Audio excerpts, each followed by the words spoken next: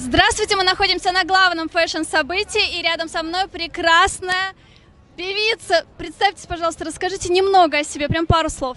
А, Певица Букатара, автор, э, исполнитель э, своих любимых песен, моя звездочка, которая выходит со мной в финале. Мы находимся на показе Стаси Стаси, прекрасная шляпа, прекрасные платья, которые все увидят впервые. А, Мы в предвкушении.